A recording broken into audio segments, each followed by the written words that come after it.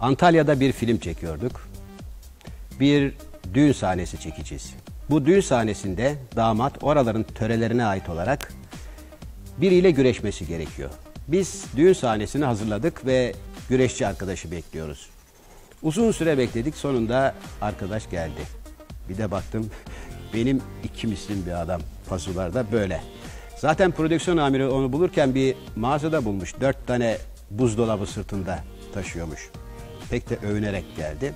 Adam geldi bir baktı ki olay çok ciddi. O zaman sanıyorum aldığı para 2000-3000 ise hemen fiyatını artırdı. 4-5 misli bir para aldı.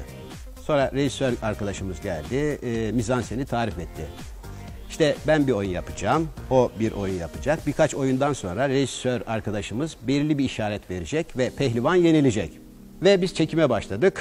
O bir oyun yapıyor, ben bir oyun yapıyorum. Oyunlar uzadı ve yenilme zamanı gelince rejisör arkadaşımız hafifçe yaklaşarak fısıldadı artık yenil diye. Adamın gözüne bir baktım yenilmek değil daha da öfkeli. Beni kaldırıp kaldırıp yere vuruyor. Bu defa rejisörün sesi yükselmeye başladı. Abi ne olursun yenil. Adam yenilmiyor daha da hırslı. Ve başladı rejisör daha bağırmaya. Allah'ını seversen elini ayağını öpeyim yenil. Adam yenileceğine beni daha da fazla vuruyor yere. Ben bir ara abi dedim ne olur yenil. Benim kafamı tuttu kulağıma yaklaştı. Sen dedi parayla adam tutup yeniyorsun hem de Malkoçoğlu oluyorsun. Bu yüzden sana yenilmeyeceğim.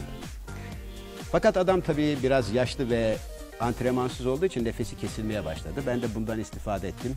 Derhal bir judo oyunu var kol kapma ona geçtim. Beraberce yere düştük. Aslında pehlivanın yere düşmesi gerekiyor ama düşmedi. Beraberce yere düştük. Hemen ayağa fırladı. Rejisör müsün, mesör müsün kardeşim dedi. Nesin? Ben yenilmedim. Bunu lütfen filmin altına yaz. Berabere kaldık. Tabii biz filmin altına bunu yazmadık ama o gece bana doktorlar 7-8 tane reçete yazdılar ve o yılbaşını ben hastanede geçirdim.